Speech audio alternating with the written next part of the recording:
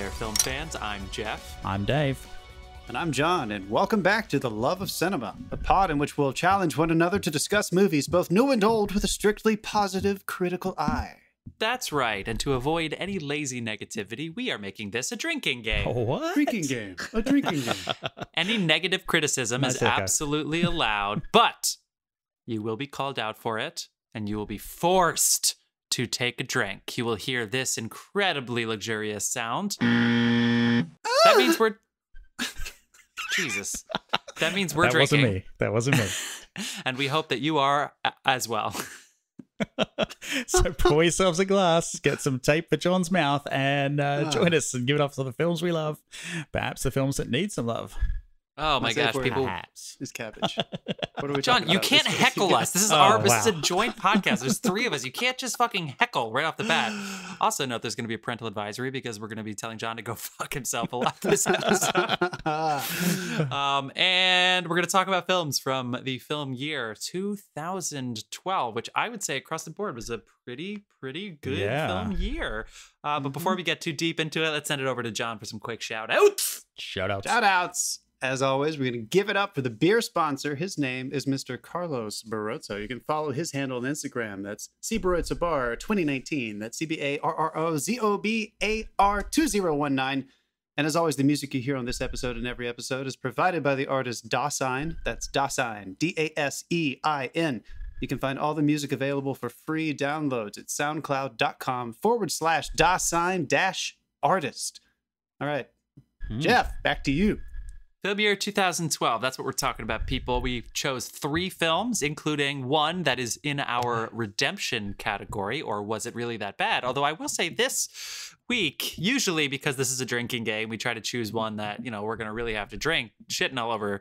But we made it, we made, I think these are three We, I pretty. think we went more films. controversial with the. Uh, Yeah, we went more, con- we went Yeah. more controversial. This is more of a solo where it's like, let's give it another look now that we've had some time. But we're going to talk about them in a second, but we wouldn't be a newsworthy film podcast if we didn't send it around the horn and talk about what we've been watching and maybe some news we'd like to share. So, Dave, why don't you kick us off? All right. Uh, I've been. I, I caught uh, Netflix's Warrior Nun this week.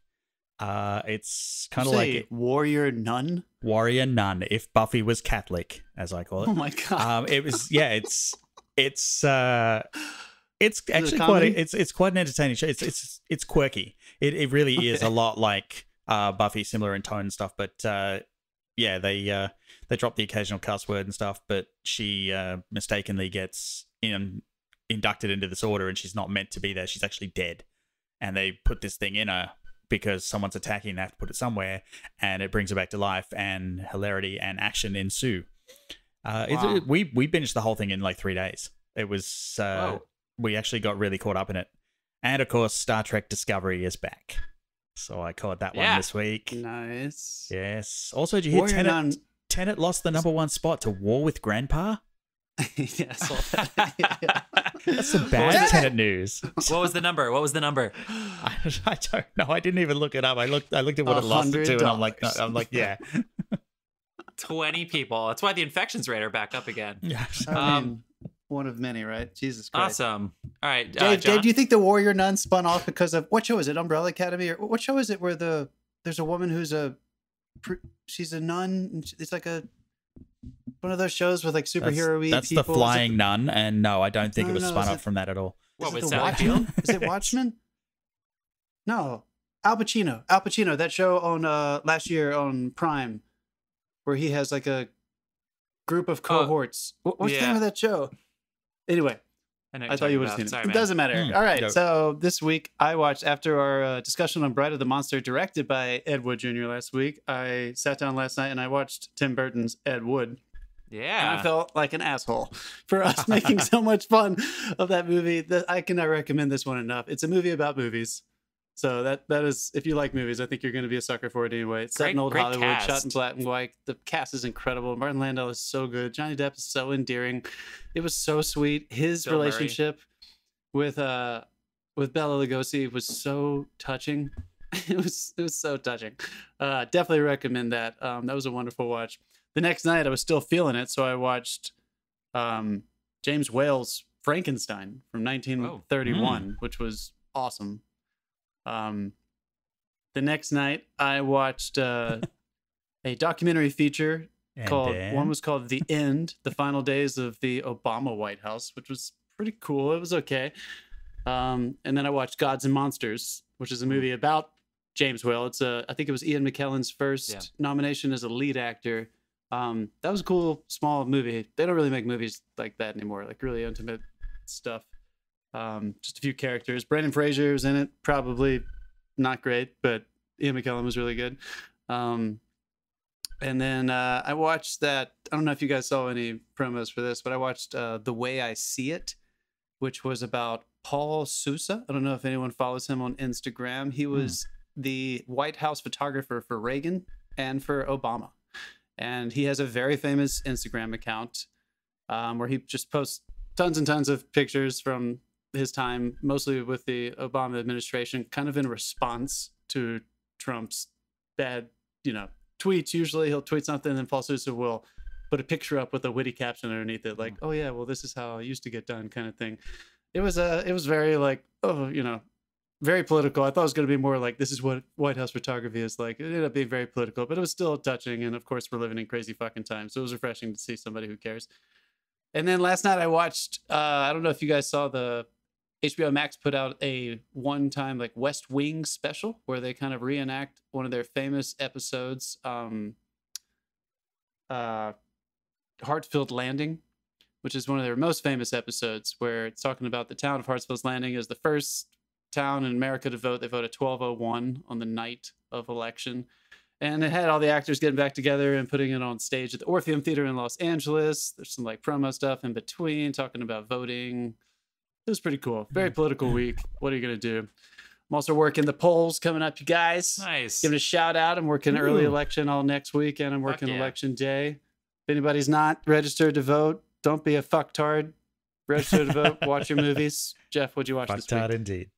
Fucked hard. Um, I we started watching. Um, I I- don't know why we're on a Netflix like do whatever Netflix says kick. So we started watching um the Haunting of Bly Manor. I I'm a Mm. sucker for trying to be a part of relevant things like current things. Like I'm not gonna watch a show from four weeks ago because the conversation's lost. I guess.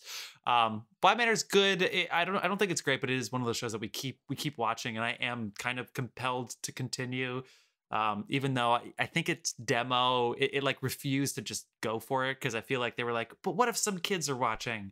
So I wish they'd just kind of gone for it a little bit, a little little too much polish. But again, it's fun, and supposedly the eighth episode is great.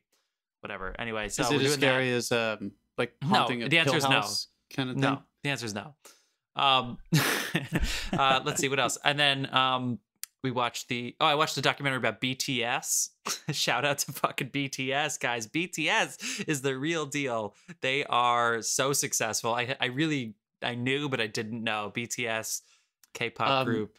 Yeah, fill me in. Who the fuck is that? Why am I? I'm just not surprised. Everybody here, I'm going to represent the mo- the younger folk. Uh, BTS is the most uh, the Actually, most. ju- I just want to jump in. I, I know who they are. oh, okay. BTS, thank you, Dave. BTS is possibly the most successful like boy band group of all time, even more so than NSYNC. I mean, they, they have records, ev- every record, YouTube streaming in 24 hours, Spotify streaming in 24 hours. Um, I mean, they are so in demand. Their song Dynamite had 500 million views in a month, like it, ridiculous numbers. This is this is the this is the group on TikTok that was so huge and Hmm. I, trolled Trump. I can't. I can't rally. wait to find out that they're actually AI generated and they're not real at all. They're so real. they're so real. They they preach with love. They anyway, they're they're a great group. So I watched I watched a documentary about them. They are fantastic. They're so so great. And their management company, their manager, the manager of the group, Big Hit Entertainment, just IPO'd at over four billion dollars. That's how Uh-huh. successful this group is.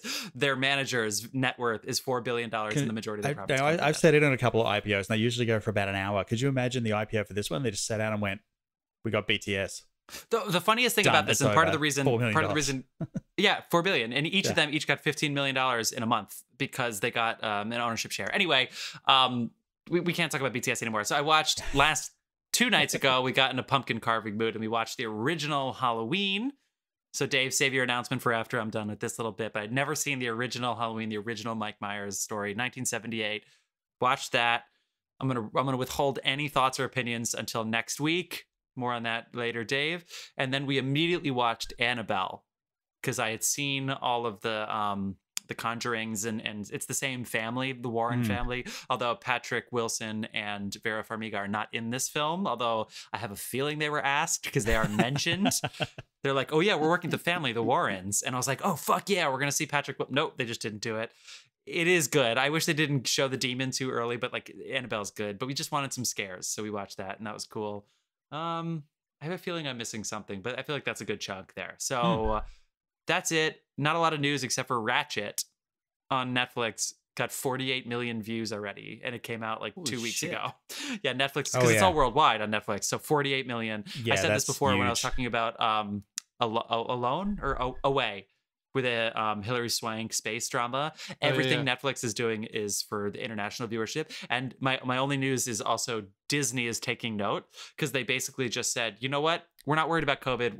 The Mulan thing worked. We're fucking going for it. We're we're we're, all in on Disney Plus. except So- except for Marvel films. Yeah, oh, yeah, yeah, Yeah. for sure. They're gonna they're gonna pretend like they're all kind of separate and stuff. They're gonna still try I- to do that. Yeah, but they're not like I was having this discussion today, and I don't think they can make the billion dollars they're making from a streaming, like a streaming release.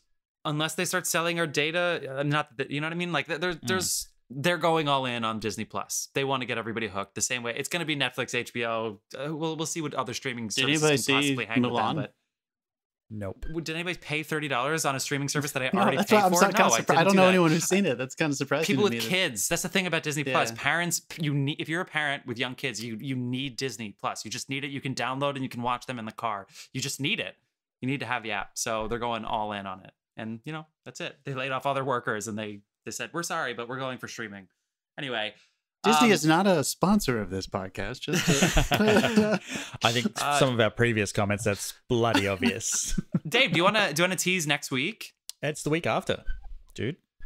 it's the week what's, after. the- what's bro. today's date It's kind of like The 18th? halfway through. Yeah, we we we are coming up though. Uh, when when we uh we hit my the uh, holiday season uh for Halloween, and we thought, well, what can we do that's kind of special? So we're on Halloween night. We're gonna try and do this show live yeah with video. Live. streaming on the Facebook page on Facebook Live. Uh, yeah, completely uncut, uncensored. We've got our lawyers on standby. Mark Uh, Zuckerberg is going to shut us down, dude. we talk way too much shit about Facebook No. to make this work. It's, dude, it, it, it takes it takes three weeks in the Senate inquiry for Mark Zuckerberg to delete a post. So I think we're good. true We just again, we're throwing shade even when we're trying to defend it. Oh, come on. God, that's Um, funny. Yeah, we so don't yeah, stand a so mark your chance. That's going to be calendars. fun. We're also gonna have some special guests who really know their Halloween movie stuff, unlike me who had never seen Halloween before. So we're very excited about that. So we have two more weeks for that. So excited, and I'll tell you what I thought about Halloween, the original Halloween. Then, Is anyone terrified about going live? eh, a little scared, a little Uh, nervous. Yeah, sure, a little bit. Nah, Might feel a little be fun. different It's out gonna be- there, it's but it's going to be great. Cool, we're excited. Well, we should get into it, people. We're talking about the film year 2012. Unless anybody has any other final thoughts. Uh, there was a couple, Alright, do just one one quick thing. There was uh, a couple of news stories that were discredited this week. oh, Um, great! Tatiana Maslany is not She-Hulk. What? I just Marvel saw that series? today. Yeah, no. Apparently, she's said that discussion's not happening, uh, and we Oh. uh, there is no discussion at the moment between Tobey Maguire and Andrew Garfield to appear in Spider-Man Three. Okay, yeah. um, so was- they discredited that Hmm. as well. But take that as you want, because sometimes the studios leak this stuff to get an opinion. Uh, I, yeah, it Right. Could be true, it could be not. We don't know, but they were discredited. Oh, and that's back to the Disney thing where Hmm. they're they're so all in that they're now saying, oh, they're taking the multiverse effect. So Mhm. all of the seven Hulks and the the four Spider Man, they're like, oh, multiverses. They can easily. Disney is willing to go serialize it, go serious. Like they're willing to figure it out. They don't give a shit. They're doing it. They, they'll Hmm. do whatever they want. All right. Cool. it So up. 2012. I, I I imagine you know what the number one box office, the number one film at the box office was in 2012. Is it your Did you guys- favorite Dark Knight movie? No, that was number three. Ah, damn it. okay. Um, one of the Uh, highest grossing films of all time. Hobbit, Hunger Games. All right, Is I'm gonna go ahead. In, and, okay. game. What- no, what- what was Endgame. it? Endgame came No, like two years Avengers, ago. Avengers, Yes, Avengers. the original Avengers, one point That's five what I meant. billion dollars at the time. It Made was like bit. number three on the list of, or number two, maybe at the time, 2012. Number two on the highest grossing films of all time list in 2012. Um, right now, it's number eight.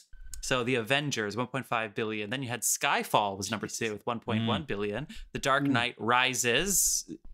Yeah, you could you can listen, have Jeff some fun and that listen to one movie. of go go back to like episode seven or something where we talk about the Dark Knight trilogy and just I just there's just like two choices that really yeah, well, what were they very no we, we don't need to no no oh no, no. To just they they thought that their the fans were stupid. Anyway um the Hobbit the an unexpected journey 1.017 billion dollars. So those are four billion dollar movies 2012 then you have Ice Age Continental Drift, Twilight Saga Breaking Dawn Part 2, which is the final Twilight Saga film, The Amazing Spider Man with Andrew Garfield, $757 million, which apparently was not good enough to get a fucking trilogy.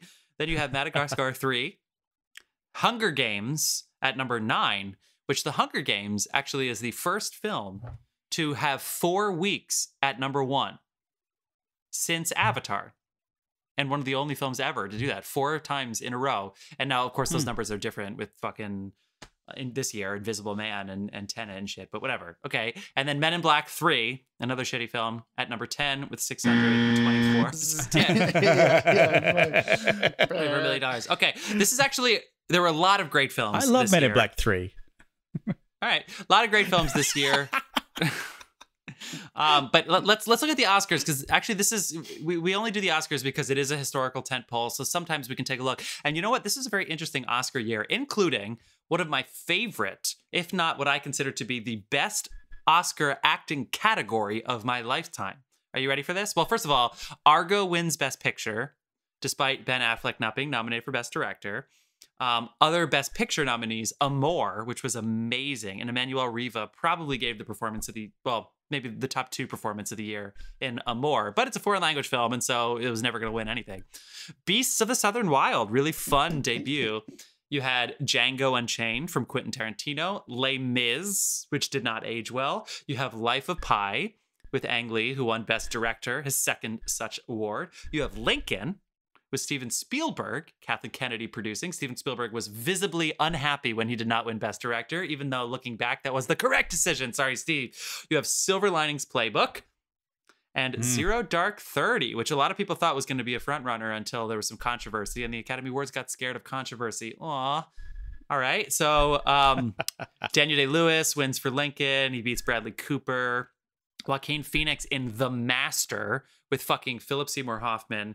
Oh my gosh, that was such a good fucking movie. And then Mm. Denzel Washington basically single handedly carried Flight into the Oscars categories. Jennifer Lawrence wins for Silver Linings Playbook, even though she was like 23. She beats Jessica Chastain because, again, controversies. Quvenzhané Wallis was nominated at 11 years old for Beasts of the Southern Wild. But here's my best category because I don't need to talk about the Oscars all day. The best category here Best Supporting Actor. All five pe- people had won before, they've all had an Oscar. Christoph Waltz wins for Django Unchained. I think there's category fraud there. He probably should have been considered a co-lead with Jamie Foxx, but whatever. Alan Arkin was probably never going to win for Argo, but you get De Niro coming back with Silver Linings Playbook. But the bang bang of Tommy Lee Jones in Lincoln and Philip Seymour Hoffman in The Master. I mean, that's just a good category. That's just a really, really good category they don't see every day. Um, and then let's see.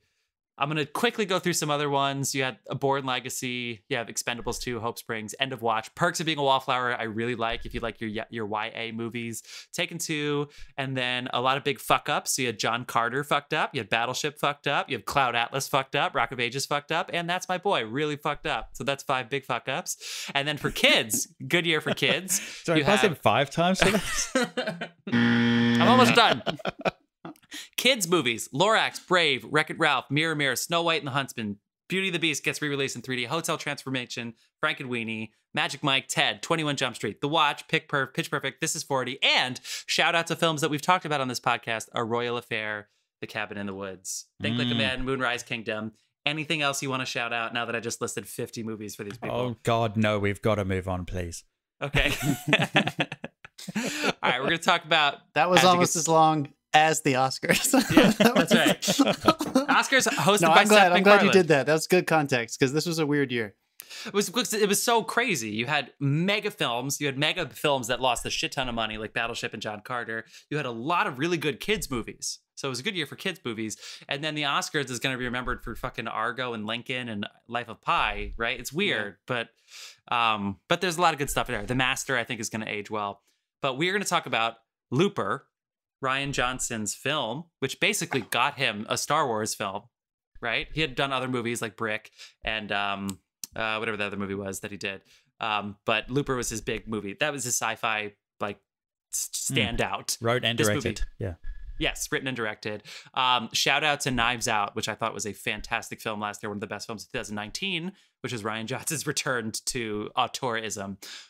Then we're going to talk about The Place Beyond the Pines, which, if for whatever reason it's unfamiliar to you and you're still listening to this podcast, we're talking Ryan Gosling, Bradley Cooper, Eva Mendes, Ben Mendelsohn, Dane DeHaan. We're talking about a really, really, really good cast. Yeah. Mahershala Ali.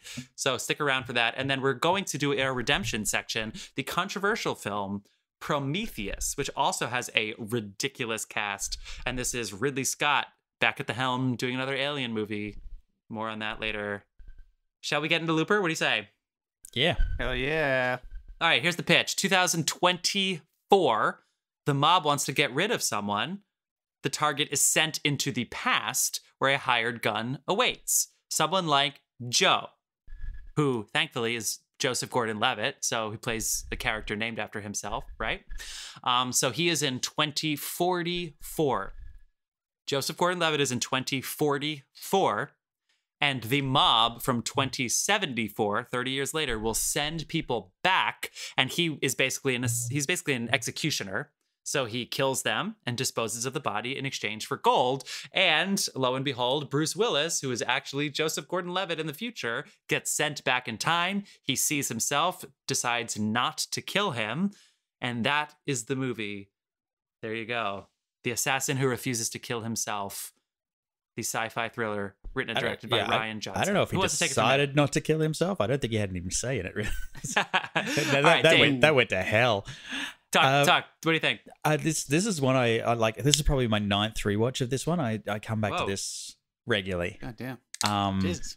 yeah, I, I it's just it's fun to watch, and it's it's funny because uh, everything you need to know plot wise is explained to you in the first two minutes, and then Uh-huh. it's just Mm. settle in. It's I really I really dug the way it's written. Um, this is as you said a Rian Johnson film. Uh, that's before he turned evil. Yeah. I actually thought this is uh, the movie that's the future if we reelect Trump. yeah. Everybody register to vote. Continue, Dave.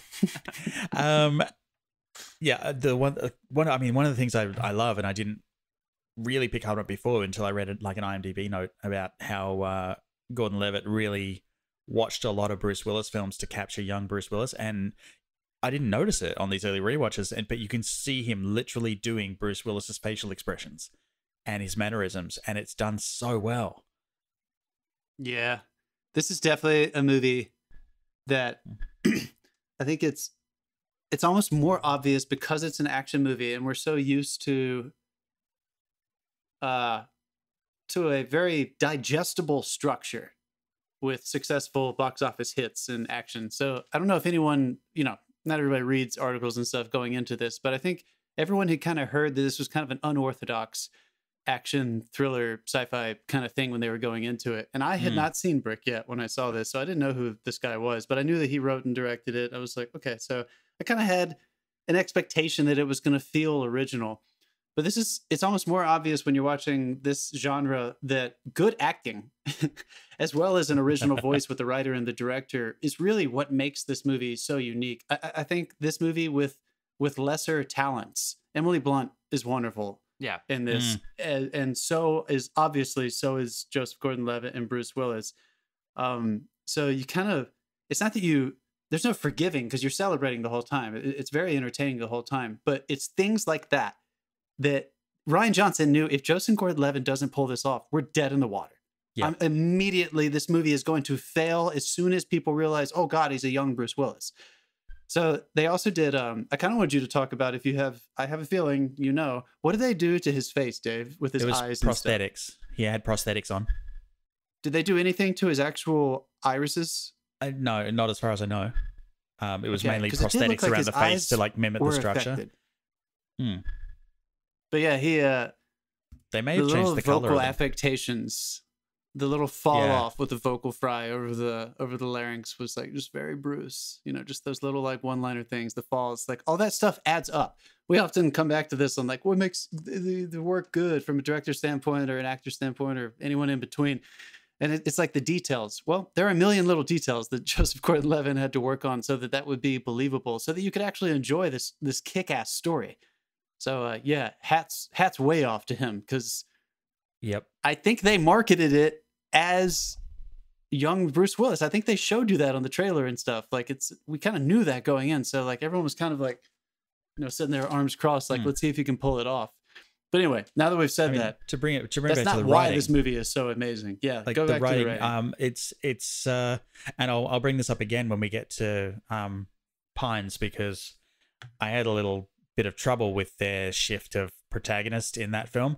But in this one I think it's done beautifully. You don't actually know what's going on at first, but they literally live his entire life.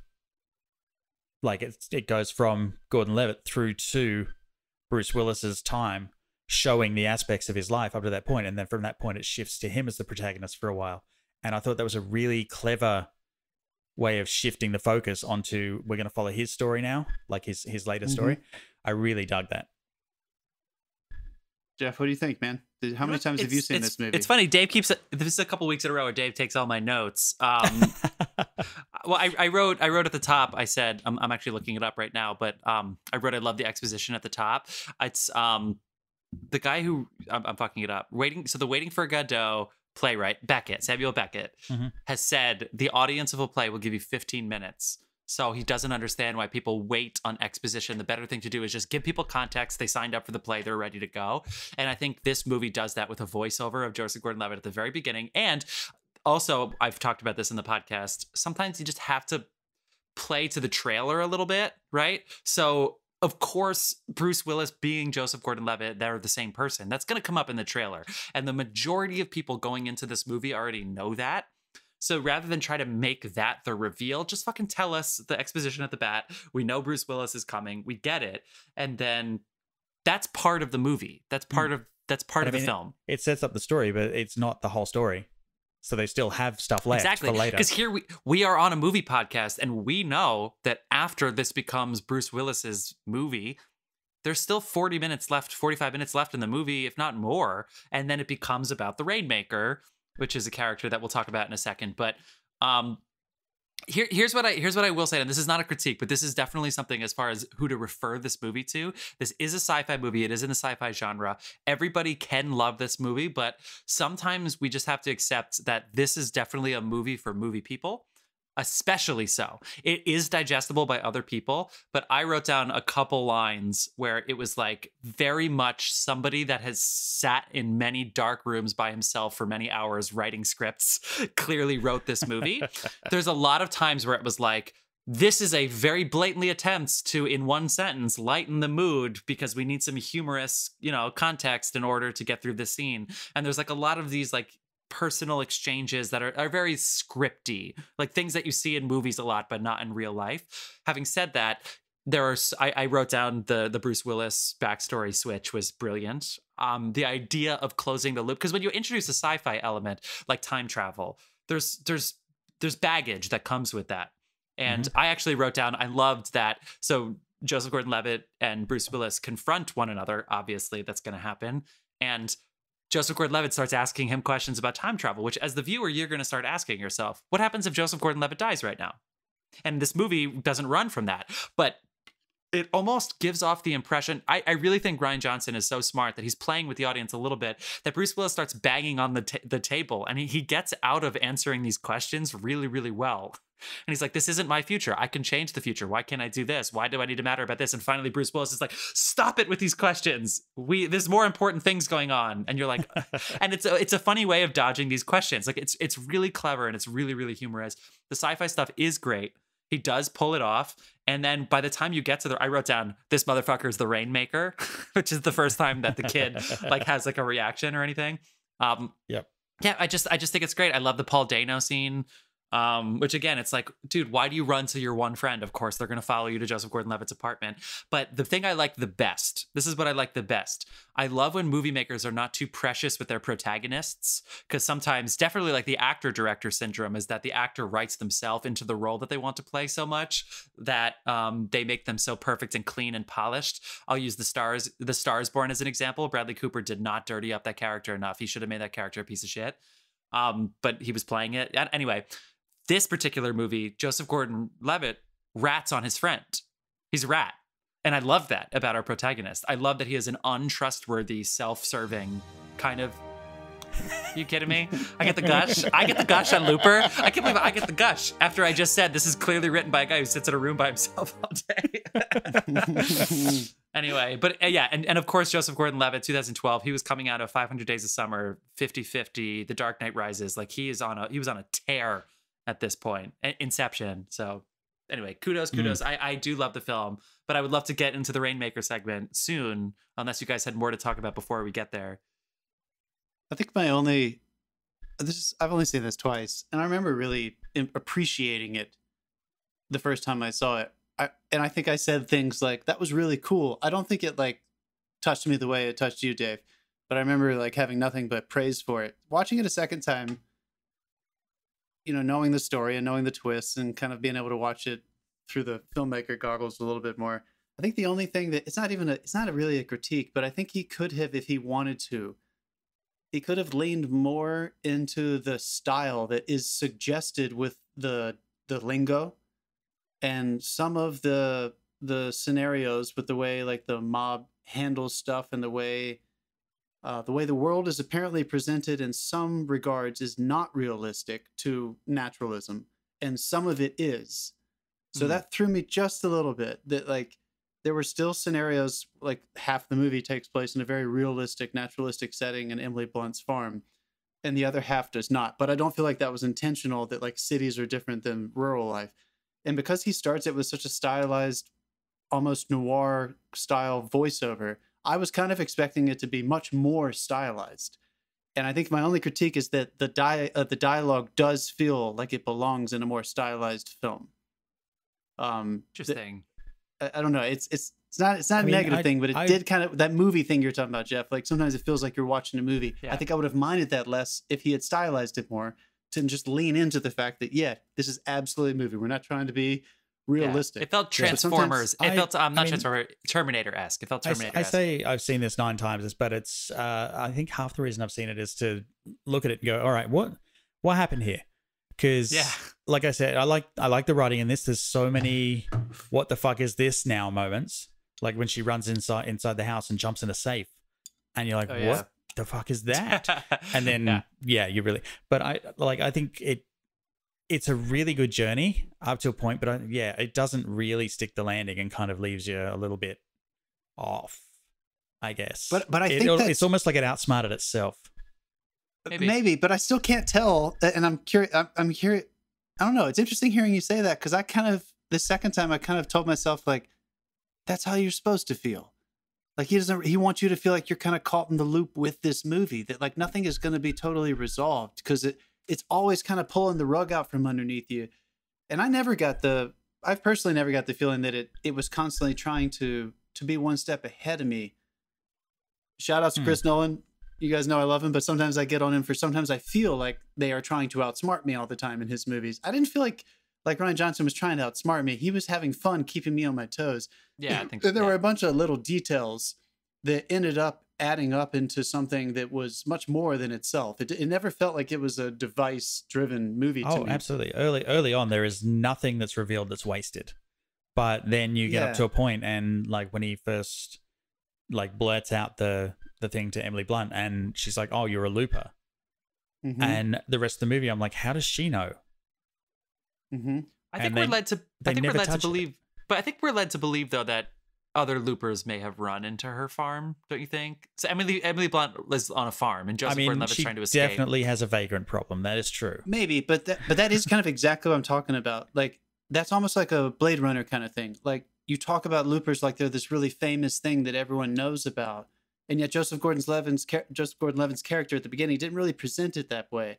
So in a naturalistic world, which her world was was natural, it, it kind of seemed.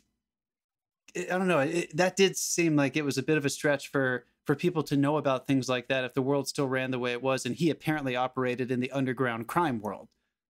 So there were yeah. things like mm. that. They kind of I wanted him to squeeze it just a little bit more because I felt like in every other aspect he did such a good job of creating a very um, insulated feeling. A lot of this takes place in in very insulated settings. This isn't a super yeah. broad thing where they go all over the world. It takes place in his apartment, a couple different locations, and then a farm. And then you cut away to Bruce yeah. Willis every now and then. But they would have dialogue that referred to the rest of the world.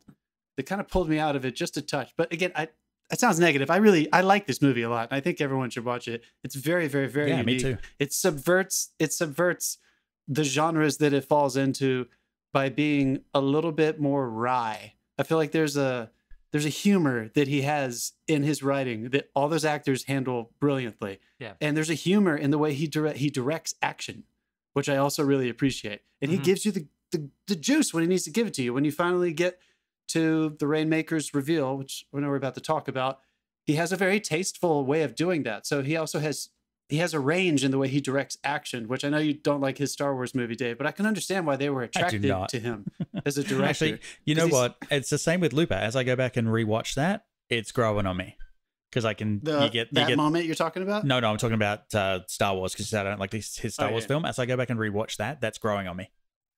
Well, so I think, that, I, think, I, think that's, I, I think that's his style. Like you separate you're not, you're not, you're not going to get it all in the first in the first watch. You've got to go back and see this a couple of times to include all the like get all the subtlety. I think he does that on purpose, or whether it's his style or what. But I think that's which, a Rian Johnson thing. Yeah. I mean, you'll notice I'm, I mean, I'm, no longer referring to him as Rian Dream Smasher Johnson. So you know, that is good. That is a big step. we, we just want to give Jeff, uh, Dave, a round of applause for that one because that's a big step for him. Jeff, get in there. If if if Episode Eight was a standalone Star Wars film, there's something there there's something there. But he had the problem, which John Boyega has been outspoken about for different reasons, and, and I, I can't speak to any of the behind the scenes stuff, but the, the character, we, we just didn't really need him, and they, they didn't know how to get him back the way that they got Han Solo back. They just didn't figure that out. But Rian Johnson doing like a single this Looper's smaller than I thought. To be uh, to your point, John, where there's less going on, it's more intimate, and so you really get into these people more. I thought it was going to be more like episodes one, two, three of Star Wars, not to keep using that canon, but where everything is city-like, and there's uh, there's like. Hmm. There's just set or, pieces nonstop. actually, right? maybe maybe, yeah. maybe more Blade Runner too, but just like huge sets and more character. And even though we don't see them, even if they're all CGI, they're there. But this is really like you could count twenty people that you know their faces by the end of this film. Um, yeah. And I thought that, and Paul Dano, shout out to him. He has this, like two scenes, and he's pretty damn good in them. And Jeff Daniels is the villain. I think Jeff Daniels does a fantastic uh, my, job, especially favorite, with the humor. My favorite, favorite line, line in the film is Jeff Daniels. Wait, like wait. i am gonna I'm gonna guess because we have the same notes. Okay. When he goes, "What are you doing learning French? You want to go to Paris when you leave? You should go to China." And it's like, "I want to go to France." And he's like, "I'm from the future. You should go to China." That's my favorite line in the film. Yes, yeah. Dave, get on, get out of my notes. Get out yeah, of my what notes. What are you guys doing?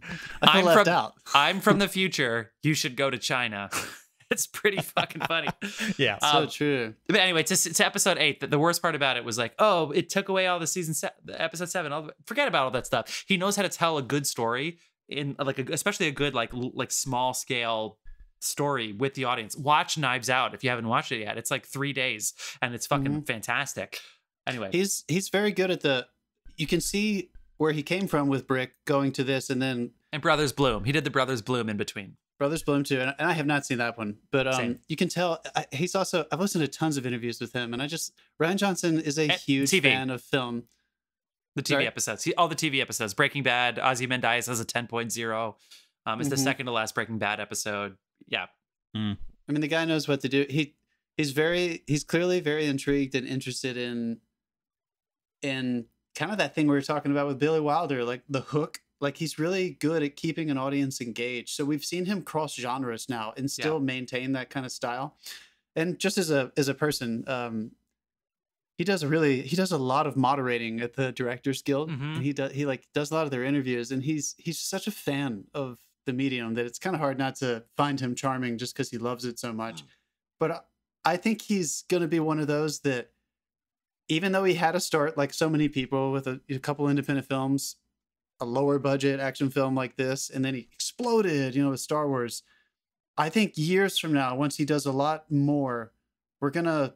I think he's gonna just get more and more praise, and we're not gonna maybe judge him for the context that he was that he was pimped into by directing one of the major Star Wars movies that probably changed his entire career for for like five, six, seven years. I think Knives Out got him out of the hole. Yeah, not many. But I feel like for a long time he was still he was still stuck there. I remember when he was talking to Villeneuve, Denis Villeneuve, and he was Yeah. interviewing him on Blade Runner forty nine, and of course they had a few moments where they were like talking about just the terror of taking people's dreams from childhood and just doing their own thing with them. And just the fact that he has the bravery to continue trying it and then follow it up with a movie like Knives Out in between Mhm. this movie. I don't know. I think it says very loudly he's more than competent. I think he has a really unique voice. He's fun, which you know you guys know I like my serious auteurs, but like I can take him seriously even though I know he's having tons of fucking fun with the camera. He's having tons of fun with the script, which I respect enormously. I'm always going to be entertained, and I know that when I go see his movies, I'm going to be able to bring a friend who doesn't love the same shit that I do. I think we're both going to be entertained. Yeah. So One of my Hmm. favorite moments from last year is when Christopher Plummer Christopher Plummer is sort of the, the he's the central figure in Knives Out. And when he finds out that he took something that might kill him, his Uh. re- his reaction is like sometimes you just hit the sweet spot, you know what I mean? Especially when you're in charge of the setup and everything. It's you know what I mean? There's no context going into a movie like Knives Out. I think the same thing about Looper. We have no context other than the trailer and that opening exposition Yeah. and he sets you up and then he says okay but this is it's actually it's not a time travel movie about like exploring that necessarily it's actually is it about love is it about loss is it about power is it about he introduces the tk which is the telekinesis basically or but it's it's actually you can lift objects basically which is he even says it's like a worthless trait and so is the it's he's like making fun of sci-fi tropes but then it mm. becomes a central thing yeah, in his that was film that was a little red herring there. yeah Yeah, let's talk about that fucking kid. Let's bit go of mis- there. misdirection. That kid fucked me up. Let's talk about it. what were you going to say about That the, kid was so the good. Rainmaker? yeah He was so good. You were gonna. I feel like you were gonna say something, Jeff, and then you kind of saved it. Well, no, on. because Did you have anything I- specific? I, don't I don't know how to set the audience up because the whole movie, the pitch is Bruce Willis and Joseph Gordon-Levitt in meeting, and then there's Emily Blunt's farm. But Bruce, basically, they, they need to. it- It's it has the Terminator entrance is is chosen by me because it's it's the Terminator. It- That's what it is. Bruce Willis is going back in time to kill somebody from the future. That's why he's back. That, that that's sort of the giveaway. The, so this is another Rian Johnson thing. It's not he's not just coming back to to escape. He's actually coming back for a purpose, right? Mhm. So it's not like oh Joseph Gordon-Levitt couldn't kill his future self. Well, why is Bruce Willis back here? It's like well he's an outlaw. Okay, fine. But really, what he's trying to do is kill a kid. It, it, that's the Terminator, right? Except this, instead of killing a woman, it's no. The Terminator Two is kill a kid, right? I don't fucking Yeah. remember all those timelines, but yeah. Yeah, so this is he's first, coming back. First one is woman, second one is kid. He's Yeah. coming back to kill a kid who, in the future, is a, a powerful criminal, and and Joseph Gordon-Levitt has the task of being like, well, maybe I should protect this kid from myself in the future, and that's a really fucking interesting conundrum to be in that I didn't think an hour before because I hadn't started this movie yet. I didn't think that's something that would consume me. And now here's Rian Johnson who sets he he gives me the exposition, he sets this thing up on a platter and then makes me care about it. And now I don't know if I want this kid to live or die. And I think that's something that only somebody who's really knows what they're doing can can pull up. So that's and And I I, don't don't have much to say about the Rainmaker on top of that. The kid's awesome. I love the violent outbreaks. He probably should die, but uh, like I don't know. and I like that he. All right, this is kind of a perfect example of what I'm talking about. Sometimes I think he, I knew what he was doing, because sometimes he would play into action movie structure tropes, but he would still subvert it in a way. So the first time Bruce Willis has to kill a child, of course, if you're a normal human being with any kind of empathy in your heart, you're already conflicted just by what's happening with the structure of the story. You're like, oh my goodness, he's going to do that. That's fucked up. And he has to do it. He does it. And you're like, that's fucked up. And then he has a moment where he like leans under some fucking highway and they go in for lots of close ups. And Bruce Willis gets to have a very serious, you know, breakdown. Mm. And when it's happening, you're like, okay, sure. I just need to see the humanity. But spoiler alert, just in general, I'm not going to say exactly what happens. But if you haven't seen this movie, just skip the rest of this because I don't want to give it away. But if you if you don't take that scene seriously, and even if you feel a little bit like, come on, kind of how I did the first time I saw it, where I was like, I know what you're doing, but like I'm already there empathetically. If you don't raise the stakes on the issue with the humanity of this character, you will not have the payoff of what happens at the end with the child that ultimately becomes the rainmaker. So it's almost like he subverted two different genres at once by he didn't need to have it in there for the action thing because we've already have that Terminator trope in our head. We could have just mm. watched him do it and he could have let us do the emotional math for ourselves. But by putting that scene in there, he surprised us when we actually had to confront something evil as a child later. So it wasn't just the idea of killing children, it was we had already taken on that that role as a murderer ourselves, also, also dealt it, with it because we empathize with Bruce Willis, and then when Bruce when Joseph Gordon-Levitt is dealing with it, I'm still not sure. I kind of want to ask you guys directly: Do you think when he finds the child in the cornfield, when he realizes he's the rainmaker, do you think part of him was still considering killing the child? When he yeah. do you not see him where he I, I where he goes so. in there and he puts his arm around him? Do you think he had totally given up? On the idea of like I can't do this? I I think he was set and that he wasn't going to do it. The thing I do want to bring up is like that that scene you referenced where he kills the first kid, and then you have that moment of humanity where he's like leaning there and he's you know having an emotion, and then suddenly it's like, all right, where's that second fucking kid? It's it's like he snaps straight back into mission mode. it's like I, I oh, yeah. oh I feel bad, I feel bad. Oh wait, still one more kid to kill. Hang on, off we go. Yeah, the and movie it, must continue. yeah. Um, we we have to continue too. This has been yes. a fantastic, fantastic journey. Looper is on Starz. Yeah, Looper yeah. is on Starz. It's not exactly a good version that's on Starz. Like the the compression quality of that. Did you get really bad compression quality artifacts in that cornfield? No, I was fine. Okay, all right, cool. Must have been just mine. I didn't think about it. I don't hmm. know. Yeah, oh, yeah, I didn't notice anything. I mean, it really highlighted that, like the the shot in the cornfield when he's on the bike riding through the cornfield. And I'm like, mm. wow, that's when the effects ran out of money. Get out of here, Dave. All right, so that was Looper, written directed by Rian Johnson, Bruce Willis, Joseph Gordon-Levitt, Emily Blunt, Jeff Daniels, Paul Dano. Watch it on Starz. We are coming right back with The Place Beyond the Pines. Ryan Gosling, Bradley Cooper, come back. See you soon, film fans.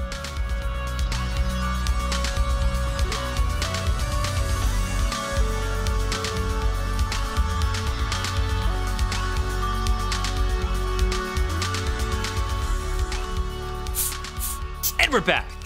We're back. Yes. All right, people. We had to talk about. we had to talk about Looper. We just had to, we had to do it. Um, yep. and my introduction for the films of 2012, which again was a pretty good year. So you know, sorry, but thank you for giving me some rope. But we're now about to talk about a movie that I imagine not many of you had thought about very much in the past couple of years. Um, but it aged very well. And let me get this cast here. So just to get us back into oh, the context yeah. of 2012. So 2012. So this is the year of Silver Linings Playbook with Bradley Cooper. This is also the year of Hangover Part Two for Bradley Cooper. So he had done mm-hmm. Limitless. Um, you know, he had done a couple other. He he had been in movies, but he is now definitely a star. and so you have Ryan Gosling and him. That's the selling point right there. And then you also have Eva Mendes, who is pretty well known. I had never seen Ben Mendelsohn before this movie. I had never seen Dane DeHaan before this movie, who you may know from um, The Amazing Spider-Man 2. He was Harry Osborn.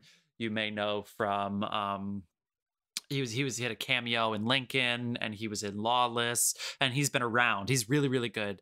Um, was this the Emory start Cohen? Ben, Men- ben Mendelsohn's renaissance? So because he like it had to have been because he got he, now he definitely got um he definitely got Bloodline from this, which he ended up winning an Emmy for for season two on Netflix. Bloodline, starring Kyle Chandler, um, where he basically plays like the evil brother, but not the evil brother, but he plays like the troubled brother who comes back when the family parent passes away, Sam Shepard.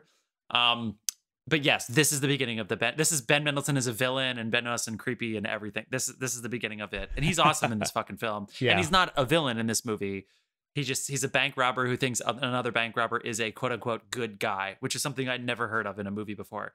He's like, who? How is my dad? Oh, he's a good guy. Wait, he was a bank robber. like I'd never. It's just. All right, I'm getting ahead of myself here. The cast is unbelievable. Mahershala Ali I had never seen. I, I guess this is right around when um House of Cards. uh House of Cards came out, 2012. But he, Mahershala Ali, um, Ray Liotta is in this film. You have Emory Cohen, who would be in Brooklyn Rose later, and he's in the OA. Yeah. Rose Byrne plays Bradley Cooper's wife. Ridiculous, ridiculous cast. Okay, it's hard to. I don't even want to read the IMDb quote, so I'm going to do my best here. Here, here's what it is. It's three acts. It takes place in Schenectady, New York, which is the place beyond the pines. Schenectady, New York, kind of in the middle of nowhere, outside of Poughkeepsie in that area, um, and Troy and Albany. Um, they so Act One is Ryan Gosling, who's a motorcycle riding carney, who does those little motorcycle. If you've ever been to a, a carnival show where they have the sphere where the motorcycles ride up around it, and it's just a crazy carney show. And then he realizes that the year before he had a fling with Eva Mendes that resulted in a child. So he decides to stay locally to help take care of the child. But Eva mm-hmm. Mendes is now dating Mahershala Ali, who's helping take care of the child. But Ryan Gosling wants to be a good father to take care of the kid, but he just quit his job at the carnival. So to make money, he meets up with Ben Mendelsohn, who's fucking awesome, and the two of them rob banks together. And they do it in a very I don't want to say tasteful way because there's but as tasteful a way as possible to to rob banks. It's a really interpersonal way where you as the audience are kind of torn because you might actually be rooting for Ryan Gosling to rob this bank to take care of the family. the end of the act segues because he, as a bank robber, uh, runs into the law, and the police officer who comes in contact with Ryan Gosling is Bradley Cooper. I'm going to skip the spoilers for the preface. So, Bradley Cooper is the second act.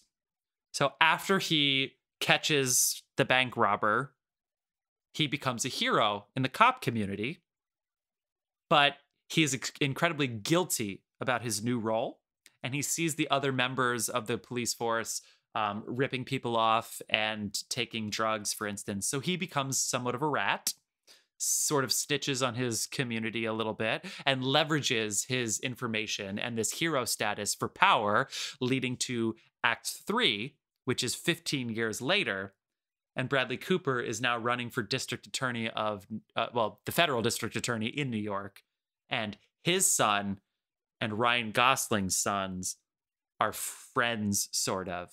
And that's Act Three. So you have Ryan Gosling as the motorcycle outlaw, Act One, Bradley Cooper as hero cop, Act Two, and then their kids with Bradley Cooper running as district attorney, Act Three. It is surprisingly profound, very intimate, very cinematic, very beautifully shot, great score, great music. Derek Cianfrance, is that how you pronounce his name? I hope that's how you pronounce his name. So, Written and yeah. directed. And I think I'm gonna leave it there. Who wants to take it where I left off? Well, as usual, I kind of want to ask this question. Dave texted us in the middle of the week. Dave, you had never seen this movie, and you, I think your I text had said something about yeah. it being a bit of a head trip if you didn't know what you were getting into. What did you mean by that? I mean, I well, I I read the uh, IMDb synopsis as I often do because sometimes I browse through the trivia while I'm watching. It's fun, um, and can give you little tidbits. Um, and I read the synopsis, and the synopsis of the film is not the movie you're about to see. It's in there, but that is like the first third of the movie you're about to see, and I wasn't actually ready for that. So when like the end of the first act happens and it shifts, I was a little jolted and I got really pissed off. And I was like, what like what the fuck? That just pulled a total left turn on me and now I'm, you know, I've got to follow this character and Wait. and but Oh yeah. that went away. So it was it was like really jolting and again, it's one of those things where I think it might have been intended. Um and I'm I'm sure they didn't advertise it in this way when it was uh in theaters, but uh yeah, there's it it the first switch where they switch into well the first act switch, I guess, is I found really kind of jolting. yeah, Mhm. I think. Uh, yeah. I think Jarek John France. This is a. All right, I'm gonna go to bat for this guy. He makes movies that don't get that we don't like movies that get made this way anymore. This movie did not Shouts him get out. celebrated in the Academy Awards. It didn't get nominated for fucking anything. Um, and then when I think when people watch this movie, they're like, "Why didn't this get nominated for anything?" It seems like a movie you should that you should take seriously. I think he likes. We know who Ben Mendelsohn is because of this movie. Yeah. Like, let's be real. Mm. I think he likes to. uh I think he likes to play with with structure in an interesting way. Uh, this one is very obvious with with three acts. It, it is a unique experience. You feel like you have these very long three acts. Maybe people haven't seen a movie that's done in that style anymore. Probably It's not long, recently by yeah. any means. But Blue Valentine also feels that way. I thought the light Yeah. between the oceans, or whatever that one's called, um, also Yeah, had a, a different kind of thing. You listen to him in um, in interviews, and he always talks about how he is most attracted to movies that it's usually drama, and it usually creates. It's not a. It's not a a quote movie where you kind of go see it and you kind of move on with your life and you like it or you didn't like it. He said he likes movies that you have to live with because they are experiences. They are intense experiences that will never leave you. And I think it's obvious when you watch something like Place Beyond the Pines that you may have never seen anything like this before. And you might even feel like there are some things that don't work perfectly. But the the level of experience that it achieves, I think is honestly all the movies that are up there uh, in the academy this year i think the only other one that i think gets to that level of experience is the master i did not feel this way Mhm. in lincoln i did not feel this way in argo i felt like i was watching movies when i watched those and there's nothing wrong with that Yeah. but in terms of an intense serious adult drama especially with tragedy Mm. which this is this is a tragedy Oh, this is like Yeah. the, The the, way he- alternative title of this should have been a series like- of really bad fucking choices. This is like six tragedies. Yeah. it is a lot of tragedies, but it's still. I, I thought. Let me try to let me try to phrase this correctly. I think he takes the structure of tragedy, which is introduced in Greek theater, which is it's it's, it's not unknown. Like we we've seen a lot of people try to pull this off. So he uses some pretty uh, spectacular and almost cliche tropes along the way of how to to build more tragedy as he's transitioning from act to act and yet he has this very specific American spin on it. There's this Americana, this poor lower class that transcends into this upper class. So you kind of get the whole gamut of what it feels like to approach a more average Joe kind of life in America because it takes place in Schenectady. So even when he gets to the richer part with Bradley Cooper at the end, when he's doing really well, even though he's running for the district attorney in New York, you never leave Schenectady. You know, you don't go to Manhattan or anything where he or Albany. You don't you don't go anywhere like that. So it still has this very uh, specific cultural context, which I think adds to it a lot. So oh, every time I see this movie, I feel like I'm watching an epic, which can apply to any culture and eh, you know anywhere around the world. We've seen a million wonderful versions of that, and he told an American version of it, which I haven't seen done in a, in a really long time one version is the master that came out this year. So I think it's also cool that they both came out at the same time. I think we also have to talk about the fact that like this guy had only made one really successful movie before this. So to kind of further my point that people don't really like movies like this nowadays, he made a student film in 1998 that apparently won the jury prize and was nominated uh, at Florida Film Festival, which is a very large, successful film festival, especially in '98. It was people paid attention to it, and he was nominated for Best Feature there, and no one bought the film, and he disappeared. And he did some TV documentaries and things like that. He didn't get a film made until 10 years later when he finally got to make uh, Blue Valentine. That was was that 2008 or 2010? 10. 10, 12 years later. Also, it came out on, it came out on Valentine's Day. So how fucked up is that? Yeah. So oh. here's the irony. I this saw it is all I want to point out. He points out he he apparently got praised for that first one, but buyers were like, "This is too dark. That that student film. This is too. No one wants to see this kind of thing. It's just too much. His style was too. It was a lengthy film, kind of similar to this for a student style film. And then he makes Blue Valentine. Granted, Ryan Gosling and Michelle Williams are in it, two well known actors. They definitely get the word out. He had some relative success. And then, Jeff, going back to what you're saying, and then this cast is his next lineup. Clearly, Yeah. the people in the industry, especially the actors, are like, this guy knows how to tell human stories. I want to be involved with this. The camera has no problem patiently following around humans directing behavior. So, not to be that broken fucking record, but I talk about this all the time. I feel like this movie could have been made and would have been 10 times more successful in the 70s. Yeah. I think we are living in a time where this guy is going up against the grain. And it's so it's refreshing to me. I don't know about you guys. Is it refreshing or is it annoying? Well, refreshing. I, I'm we're I'm happy the movie got made. Obviously, obviously. Um, actually, it's funny. He's I, I, there's a little bit of trivia that he he met Ryan Gosling in 2004 in six. So Ryan Gosling wanted to be a very serious actor, but you know he's known for Remember the Titans and The Notebook by that point. So it was really hard for him to sort of break that mold. Which you know we we've all had worse problems in our life than being you know the guy from The Notebook, but. Um, you know, Ryan Gosling was still Ryan his, Gosling problems. yeah, he, he's he's had he had the the the um DiCaprio syndrome, where he was like, "Damn it, I'm just seen as this beautiful, wealthy, successful young guy. What do I do with that?"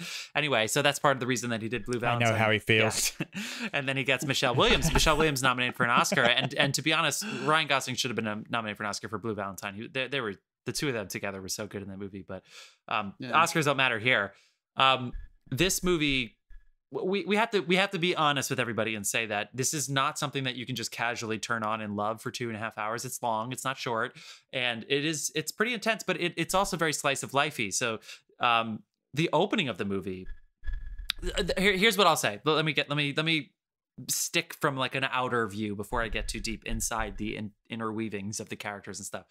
It has three acts. The first time I saw this movie in theaters, I was so into the Ryan Gosling storyline, and I loved Dane DeHaan, who I'd never seen before. Um, and I tried to see him in a play so fucking badly before this movie came out called The Aliens, which is actually where he got signed by CAA and he became a huge thing, which is how he got a cameo in Lincoln.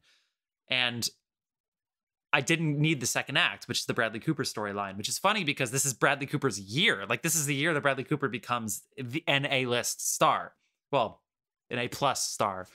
Um, and this time watching it, having seen the Ryan Gosling story play out in my head, because this is definitely a movie that snippets from this film have come back for just randomly. This happens in movies, right? All of a sudden you're walking through your house and you goes, hey, this reminds me of this movie. This movie it comes back for whatever reason. That this time watching it, the Bradley Cooper one really struck me. It really, really, really did. Me too, dude. But- I felt the same way. But from the opening moment, Ryan Gosling's in a trailer. He has a ton of tattoos. He he's Ryan Gosling, so he looks the way Ryan Gosling does, which is you know attractive man. And then he walks, Handsome Luke. and then it's called, of course, it's handsome Luke. I, I was gonna say that too. Um, depending on how into this movie we got, there are a lot of like times where it's almost like the this director is also really good, similar to Rian Johnson. But anyway, I'll get to that. I'll, I'll call back to that in a second. So he walks, and it's a oneer where he's basically walking while smoking a cigarette through a carnival ride, hops on a motorcycle, and then goes straight in a cage. There's a little sequence where it's obviously not him in the cage on the motorcycle. They they can swap them out pretty quickly, but it's basically a oneer. And it's so intimate and it follows him right from behind. So that by the time you get to I wrote down these motorcycle chase sequences where they where he robs the bank. Like the first time he robs a bank, he throws up afterwards. And I was sitting there and I was like, thank God, like him throwing up was a release for me because I had so much pent up emotion watching this incredibly real. It's not glorified. The only other movie that I've seen do a bank robbing sequence like this, and there are a lot, it's not Bonnie and Clyde. It's actually, um, um, what was the movie with the two brothers with uh, Ben Foster Oh, uh, and um, in Texas uh, with Jeff Bridges? Yeah, come back to me with that. Um, yeah. that's like the only time I've seen like a very simple bank robbery like this. And then he gets on the, the motorcycle and drives 500 miles. It's so fucking well done. Ben Mendelsohn is so good in this movie. Hell or high water. High Water. I agree with you, dude. And also then very realistic. I loved it. So then 15 years later, when you watch the kids, the spawn of this, this, you have Ryan Gosling, who is perpetually a, a, a you know white trash, and then you have Bradley Cooper, who is especially I, I definitely in 2020 it puts a new scope on this you know and and uh, the villain in this movie is white so uh, it doesn't exactly have the perfect like 2020 like build up not that you know we need that necessarily but um let's just say there's a lot of qualified immunity going on in this police force and a lot of police can do whatever the fuck they want in this movie in the act 2 the Bradley Cooper act so that when you see the kids you know you see the one that is just fulfilling his father's legacy and the other one who is just forced to fulfill his father's legacy. I, I, I think it's it's just really powerful. I, I don't I don't know where else to go from there. Somebody take it from me and I'll, I'll come back. Um, I mean, there's there are a lot of uh, um because I watched this with my wife and she referred to echoes, hmm, and it's it's like just- history repeats, Yeah. but it repeats slightly differently. For like they flip the perspectives Yeah. and stuff like that. There's a, a massive sins of the father theme Yeah. carrying through this whole thing. Um, there's not a single performance that's not brilliant. yeah, Like everyone is phenomenal in this film. That it doesn't nothing suffers. Yeah. Yeah. Oh, I think it's also the uh, go. It does. Oh, I it, would ju- it does really go to some fucked up places. though. Yeah. I was actually going to say this about Emory Cohen. who The first time I saw this movie, um, he puts on a really thick Long Island accent, and he's basically like playing a bro. And, and he was the only, that was the only person in the movie that seemed like they were putting on an act. But he's a fucking 17 year old in a new school. So of course he was putting on an act. But for some reason, the first time I saw it, I thought the actor was trying too hard. And then in this time watching it, he's like, hey, yo, bro, like the school's boring. And then the next line is Dane DeHaan being like, I thought you were from Long Island. And he goes, why do you think that? And he goes, Because people who talk like you come from Long Island. And they're like, like Emory Cohen actually brilliantly nailed this kid in high school trying too hard. That I, I Mhm. honestly, it got me. And I, I've, I've seen a lot of movies and I try to be, you know, as affluent as possible in this lingo. And, and No, he got a- me. Anyway, sorry, I, I cut both of you off. Whoever wants to take no, no, no. That's a that's a perfect example that I think it it's uh it's fluid through the way all, all of it the filmmaking the way it's structured cinematography and the way it's written and the way it's acted i feel like there are a lot of examples that are that's a really good one you think you know what movies are. And then someone makes a movie like this and they challenge you. And obviously he meant to do that. Like some people might mind that that they think god this guy's trying really hard to make a very serious movie. So you kind of kind of put your serious cap on. You got to go in for that experience and take it seriously. But jeff i'm agreeing with you with everything you're saying dude you and i saw this together for the first time by the way do you remember that down at the uh, was- sunshine was- cinema in delancey Yeah, for sure. Wait, wait. we saw really? that I the thought it first was. weekend it came out I thought it was downstairs at, at Lincoln Square, but I can't remember. I think no, I think we saw it uh, Sunshine, and then I saw it again a few years later. And I remember you and I talked about it because I think you had seen it recently, and I was saying the same thing. I was like, if he cut out that second act, this movie would be brilliant. And then this time I watched Yeah. it, I just and I totally let all of it go. Mhm. And for one thing, I love Bradley Cooper is is wonderful in this movie. Mhm. Uh, even if you feel like there are some things that aren't completely necessary from that filmmaker like storytelling hat if you again if you let all that go it, it it doesn't matter you're just in this this world with these people that takes place over these 15 16 years and you have an experience that's unlike anything i've seen recently i, I can't remember the last time i had a really long lengthy dramatic tragic experience like this and the fact that i don't know if it's because it's so long i don't know if it's because he achieved everything else it's probably all of it but the fact that he can take a simple concept like bookending the conflict and tragedy of destiny and pull it off so that when Dane DeHaan rides away on that fucking motorcycle and becomes, you know, who he's supposed to be or, or who, who he's not supposed to be, rather, who he's becoming his father. I, I- I don't know. I just feel like it, it takes something that is this overtly sincere and egregious to actually make you make you feel that way. I don't know. What are you guys talking about? You guys are fucking with me. I, Gosh, this fucking guy. He said, It's like, gosh, Jeff him. just literally texted us. Gosh, him. Yeah. I, I, we're talking Yeah. too much. Yeah. Dave, talk to us. My, my finger, my finger was definitely on the trigger. um, a, c- a couple of points. Uh, you watched this on Starz, yeah? Yeah. Um, this is and this is one argument where like we are a cinema podcast and we do enjoy going and seeing things at the cinema. This is one where I feel like this should be seen on a screen, not on a streaming platform, because I don't know whether you noticed, but Starz cropped the fuck out I of it noticed to that. a 1.78 res- aspect. It's shot in 2.35. I, I noticed that. And this appar- all the time, apparently, dude. a lot of the a lot of the streamers do that. They've Are you listening to it. me, streaming services? Go fuck yourself. Stop messing with people's aspect ratios. They do this for a fucking reason. Just just make people deal Yeah. with it. And I, Buy a like, bigger I, noti- TV. I noticed, Sorry, I noticed halfway through, and I looked up the tech specs, and I'm like, this was shot in two three five, because half a lot of the shots, like Yeah. sometimes they're half off the side of the screen. I'm like, surely they didn't shoot it on like that. Stage, no. like they told Emory Cohen to go and go on stage, and I was like, "Where is this kid?" He, they just told him to go on stage, and I was like, "Where is he?" And then he like finally sneaks in out the yeah. side. I was like, "What the hell?" I was like, "He's definitely on stage at the end." Anyway, sorry, Dave. Yeah, you're right. You're right. Yeah, and I must I must Yeah. admit I had a, I had a couple of jokes ready for like for when I first started watching this because like I I was like yeah we got to make some jokes about this film and the jokes all went away as we Yeah. got into it because it's like yeah, this stopped being funny real I have a fucking couple. I have a, But I have a, the- have a the- the, couple. the only one the only one that survived was he took the announcement that he had a son well considering there was a motorbike on standby Yeah. so but, You're that, that's the only joke that survived watching this film it is a hard watch but it's uh, like i like I said before, it, it threw me and made me angry and stuff. But I I enjoyed it. I Yeah. there's not a single thing I didn't enjoy about watching this film.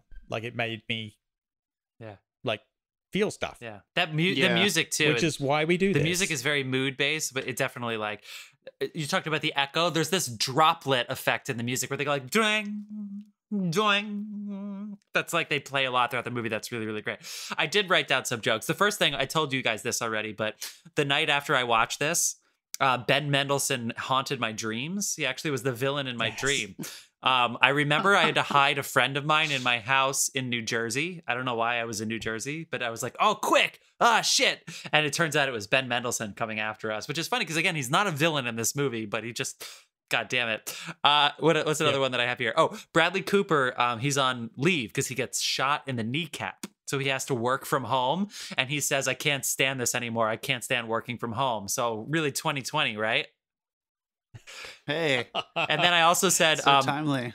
Ray Liotta and the guys show up at Bradley Cooper's house and try to take him out to go steal some money off of some immigrant families. Um, but he shows up and Bradley Cooper and Rose Byrne say, Are you guys hungry? We have dinner for you. And I wrote down, If four full grown men show up to my house and I have enough food to feed them, I'm a wasteful chef. That's just all I said.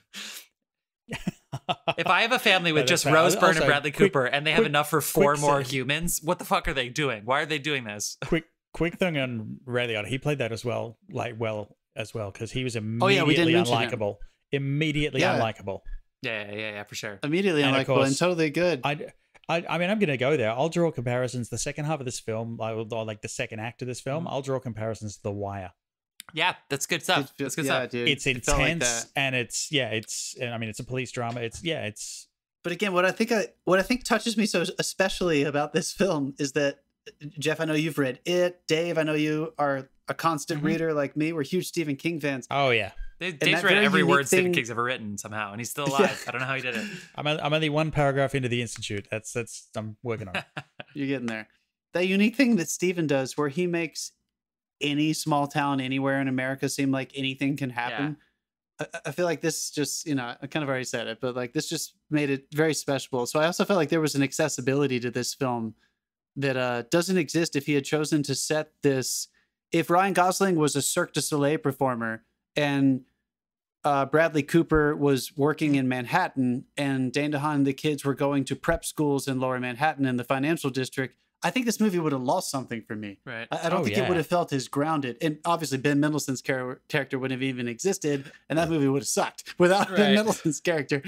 But there is something the- that uh, well, there's, there's also that small town thing where like some people never make it out of their small town, Most people, yeah.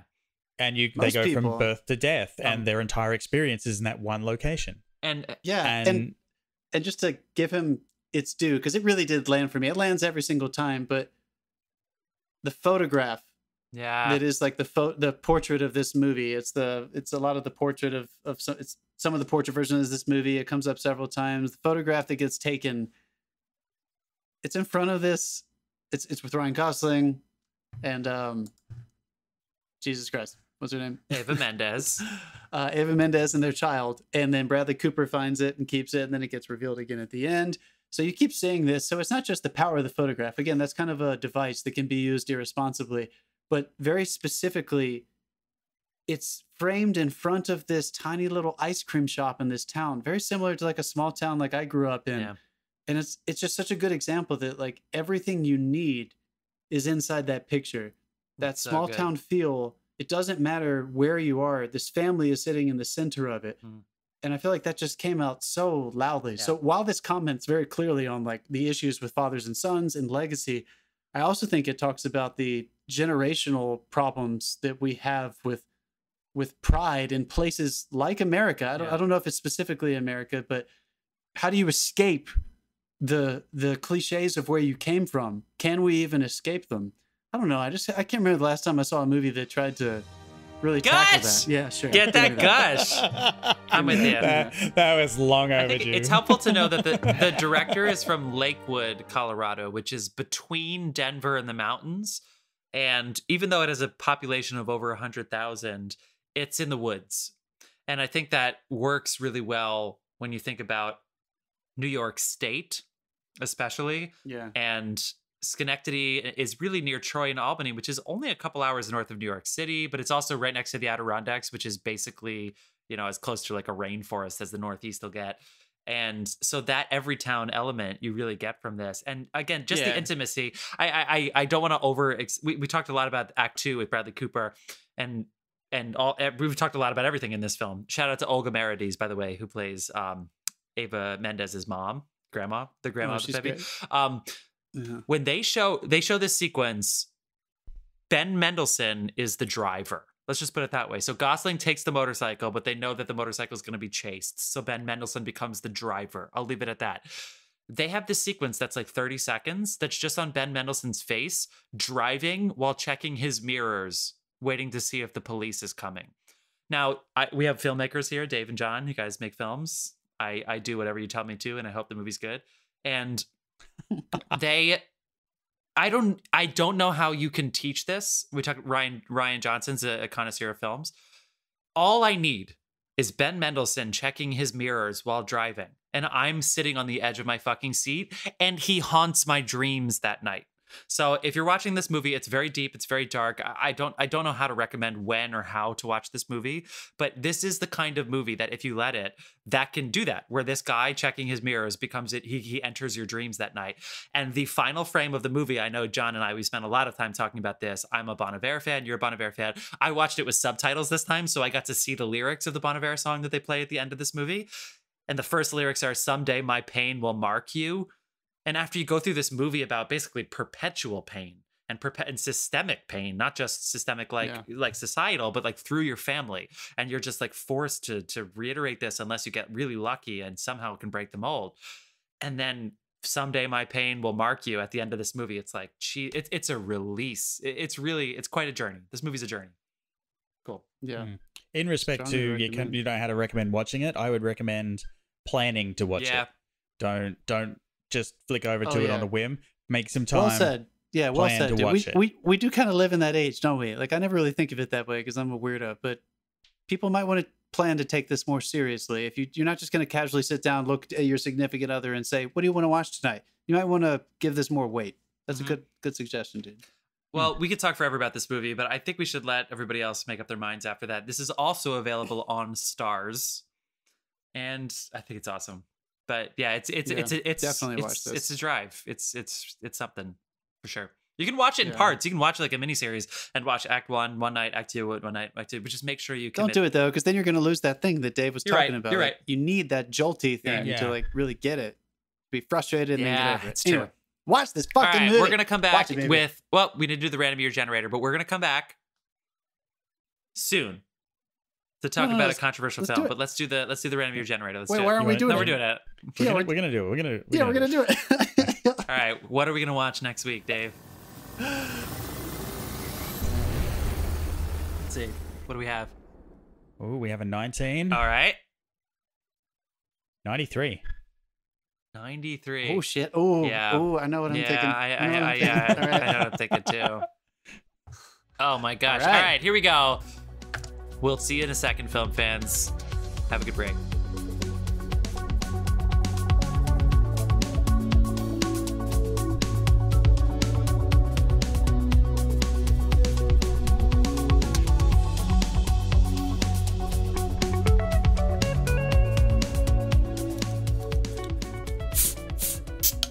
And we're back. Oh, we're back. guys we just had a surprisingly long and That was a awesome long one. conversation about films from 1993 we are so excited i forgot that the early to mid 90s said oh with movies we might have budgets to do whatever the fuck we want with movies so there is a wide range of movies that came out in 1993 Yes. and we're so excited to announce for you which three we've chosen at the end of this segment, but we have to get to our redemption segment, or was it really that bad? Now, as I said at the beginning of this podcast, John, thank you for waiting until the middle of my speech to open your beer.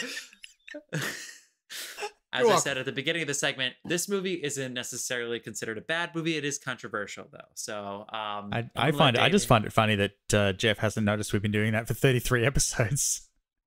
But the kind I, I just thought this was a, a, game to make us drink too much at the end of this so that we go we end this podcast and go back to our regular lives intoxicated since we're not in person um but anyway, anyway we're yes. gonna we're gonna talk about prometheus ridley scott this cast I, am gonna get the cast right off the bat okay so you've got so Noomi Rapace is the lead of the movie, and she was the original girl with the dragon tattoo in Sweden.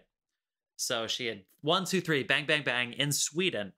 And then this was supposed to be her breakout into America.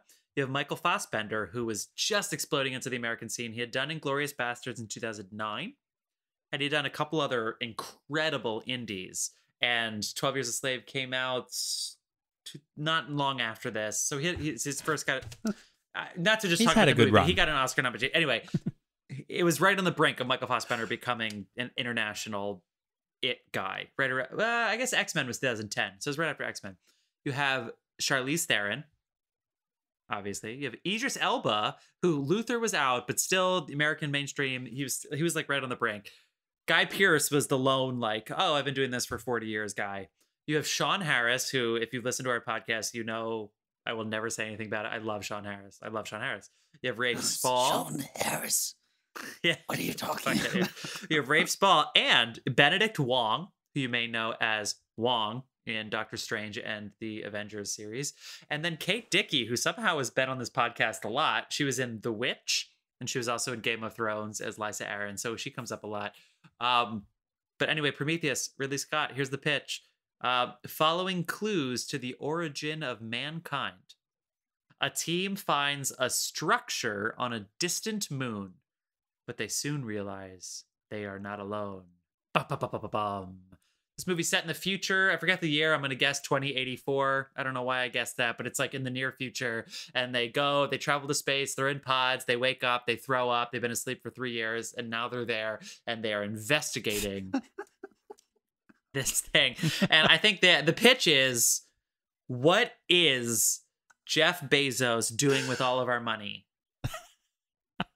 That's what they're doing. Because basically, a trillionaire decides to fund this, spe- this space mission across the, the universe instead of solving homelessness at home. I think that's basically what this movie's about um because they all show up and they all get out of their chambers that they've been asleep in for two and a half years and they're about to literally land on a planet and none of them know the mission they all are like so now that you're here and it's like whoa whoa whoa whoa whoa my union contract has expired. It's like really fucking funny. Anyway i don't even know where to start. It's ridley scott. It's kind of like alien but it's not set on earth. It's set really far away. Is it a prequel to alien? I don't really know. Who wants to take it from there? I think everything I mean, he does now is a prequel to Alien, isn't it? Yeah, I guess so. Jeff Bezos wishes he was Guy Pearce's character in this movie, dude. Yeah. That is that He's is his, his dream. way. He's on his way. Um, I uh, Dave, what do you think, dude? Yeah, I have a feeling you're gonna. You John, have all the notes. Thanks so for the input. I have, Good I, I have a lot of thoughts, but I kind of want to hear you start. Well, it's funny, like because the thing that always threw me about this, and I've seen this uh, a lot of times. I'll always go back to it just to see, like, you know, does it get any better?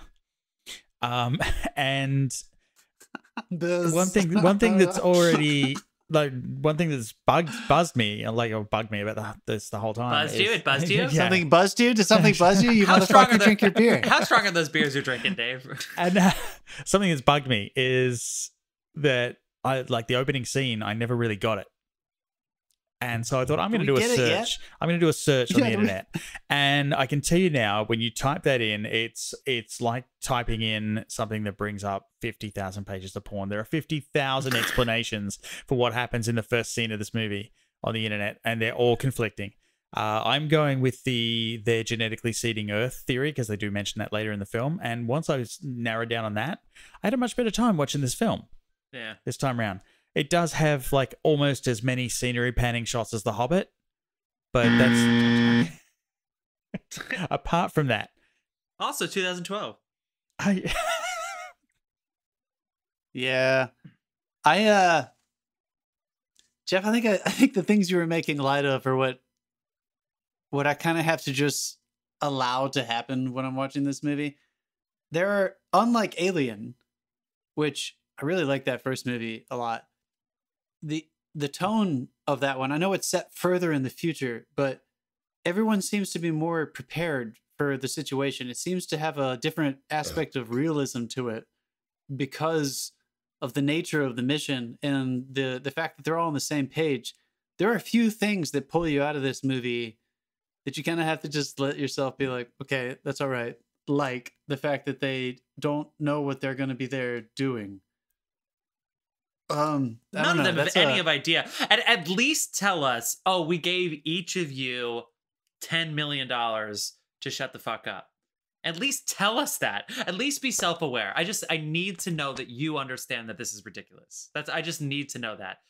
Because I actually I like the movie, but I, I need to know that you know. Yeah, You know what no, I I mean? mean Okay, that's sorry, what that's one of the you ones where he relies on the mythology more than spelling it out in the script because like these I just need one line. these starship crews do just sign on for a mission. They have no idea what it is half the time. They find out on the way. Um, the one guy, as Sean Harris says, and nothing. I, I have a lot of like menial little lines, but I love uh, announce your profession and what your profession does line. So Sean Harris says, "I'm a geologist. I deal with rocks." Lines. I, in case I, I don't know, I, I say I'm a music teacher. I teach music. As if that's a line that people say in real life. But um, like how hard is it? If you can have a line like that in the movie why can't you have one line that explains how not a single person knows why they're there and i i know the movie's the movie's good. And you should be able to go with it no matter what but you can't give me a mythology thing because all i need is one sentence. You you have to watch this you have to get somebody who doesn't know the mythology to watch this movie. You have to do a test screening. You have the money. You just you just have to do it and you Yeah. need somebody who says i have no idea Yeah, what's going it on definitely takes liberty with how much you you know. He kind of forgets that you haven't invested yourself in the alien world for you know twenty years or whatever. But the movie's fine, even if you haven't seen Alien. And you know what? Th- these are very specific movie tropes that maybe we care about because we watch three movies a week plus. So maybe we aren't the right people to talk about that specific thing as far as like who would like this movie. I think there's some fun. There's a lot of fun sci-fi things in here. But There's always fun sci-fi thing. Th- This is my only. This is my only criticism about Ridley Scott is that that man is clearly capable of making really wonderful films. Like he's he knows how to make movies. Yeah. And yet, in all of his movies, and I, I know that's a broad brush, but I think I'm going to say it. I think all of his movies have some moments and scenes that make you remember that you're in a movie, whether it's cheesy dialogue or just the way he cut together a certain sequence it just feels like it's uh it, it, it's it feels a little forced like it needed to be in there to present this information so that you can get to the next kick-ass sequence. Um i think my best example of that for this is twofold. That first scene when you meet uh harris's character when he says i'm only in it here to make money it's like wow square into a round hole like there was probably two more lines that would have been necessary to make that feel a little Yeah. bit more organic and then it immediately goes to another scene um where uh what's her name the two protagonists uh noomi rapace and um the guy who plays charlie logan marshall green Yeah. have a very human exchange with each other and then they give this presentation which again feels a little forced. So sometimes i feel like his movies go back and forth between like a realistic version of humanity and a movie. Mhm. and then in, interspersed in in that kind of thing are unbelievable visual sequences Yeah, that sure. are very like oh my god i'm in the hands of a master. And yet sometimes i do feel like he falls into a trap. The last 20 minutes of this movie are three different endings and I, I think he i think he fell into his own hole where on script i understand when he said green light let's fucking do it. I bet on the page he was like i can make those sequences end so that it has enough momentum to push you all the way through to the end.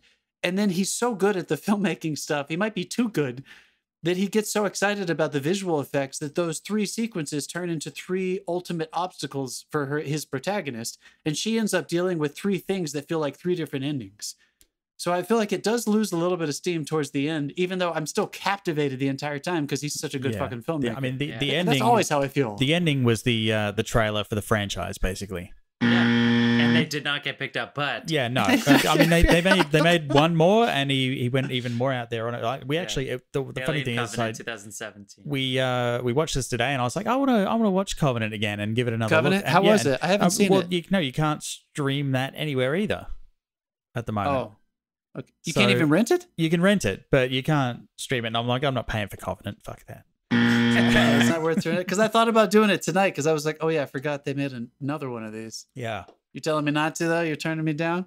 Um, no, give. I mean, give it a watch if you haven't seen it. I have. but Thanks uh, for the recommendation. I'll, Dave. I'll, I'll tell you what. Uh, this in this film, and and also like in all the alien films, the pro- like the production design of everything is amazing. Like these Yeah. some of the these ships that they come out with in Unbelievable. Alien These- are some of my Yeah. favorite fucking starships ever. I love when they do those really gigantic shots. You know that that they kind of started at House back to 2001. Um, but it's like the ship is just tiny in the midst of this massive fucking location Yeah. or this massive when they first get to the planet, right? Yeah. And David opens the uh, unbelievable. I know. Yeah. It's, Yeah, that and that the high school the high school play version of it in New Jersey, fucking awesome. I remember Shut that. yeah. There are a few things that I feel like he was like Ridley Scott clearly loves movies. Yeah. And and it's obvious. There is a moment at the beginning and they dropped it. For, did you guys notice this? Uh Michael Fassbender's character's name is Dave. Am I right? It's David. David, yeah. David. And there is a computer who speaks to him while he is awake while everyone else is in hypersleep. And it is the Yeah. exact voice from 2001. And he's like, I'm sorry, Dave. I can't do that. I was like, come on. Like, even though I like that you're giving me the illusion, and I love that he's watching Lawrence of Arabia, and the, when he brings the quote back, "There was nothing in the desert, and no man needs nothing." Yeah. Like it's meaningful, but sometimes again, I feel like he kind of, kind of falls into his own traps of the movie thing, and his movies feel like movies.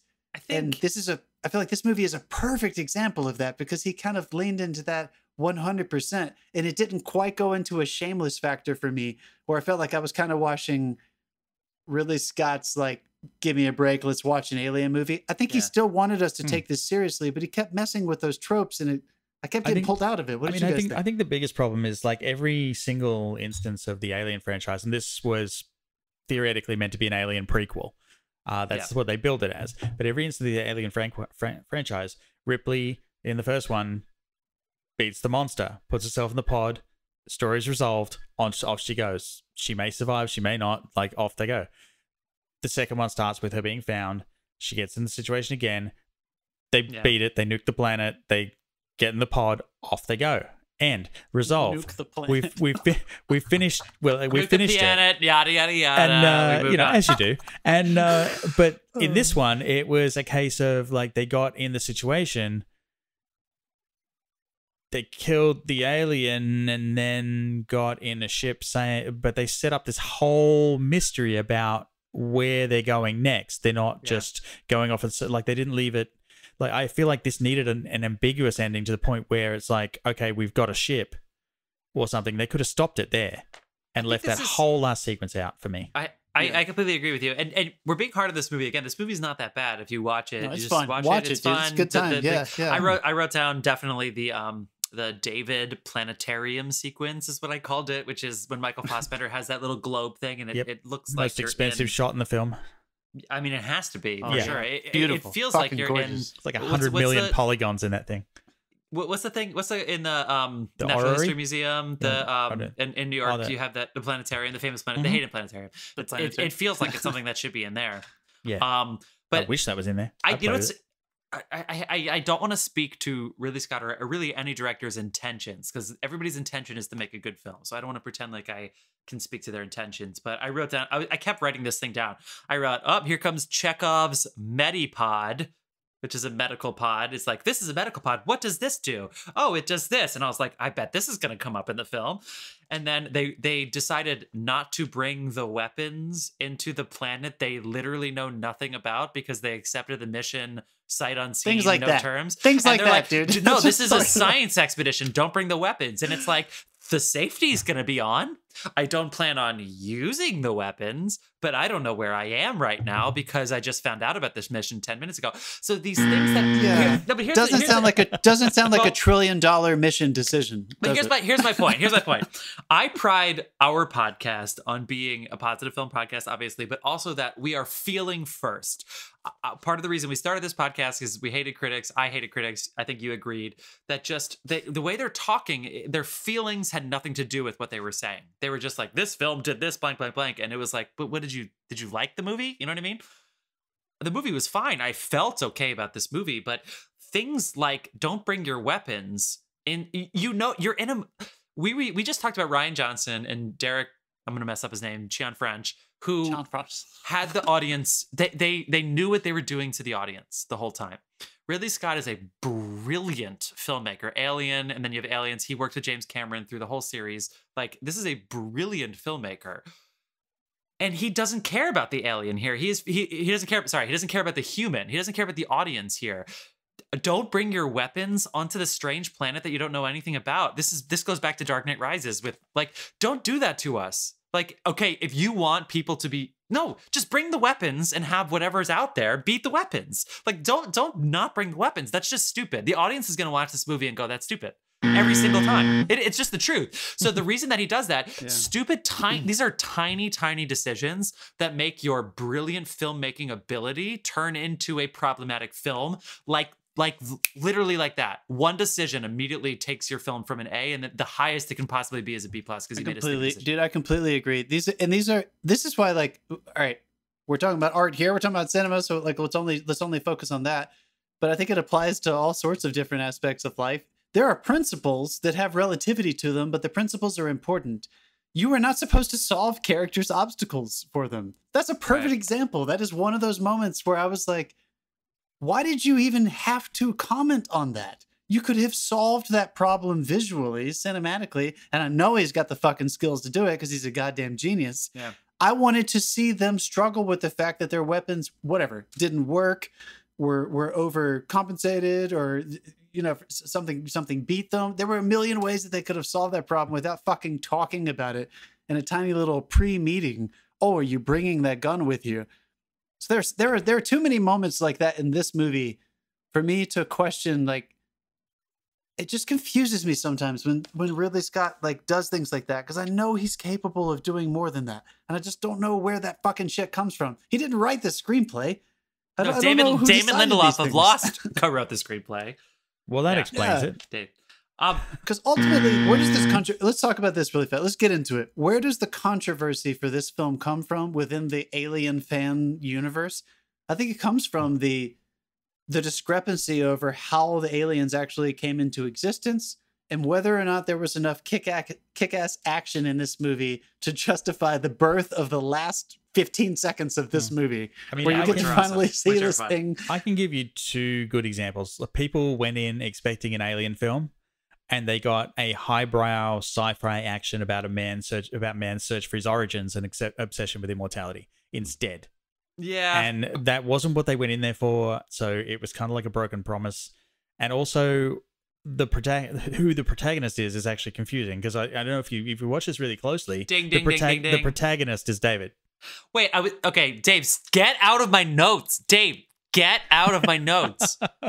Dave, I think you're a narcissist for for believing that. First of all, Wait. just because John, Dave, John, Dave and I are sharing notes really quick. you're totally right. You're totally right. Get in there.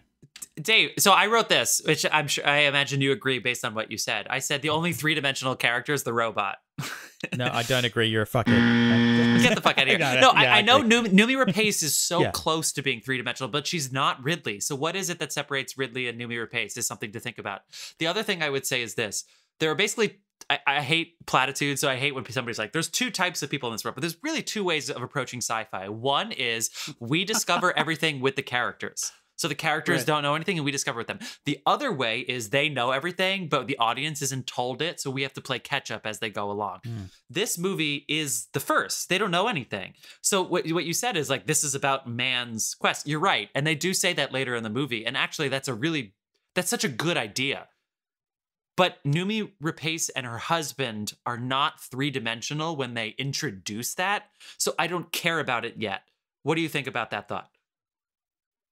Do you let me ask. Let me throw this question in there too, so we can stir around with it.